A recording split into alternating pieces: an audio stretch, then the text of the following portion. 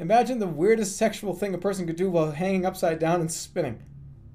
By the time Helga is finished, you don't know whether you are coming or going.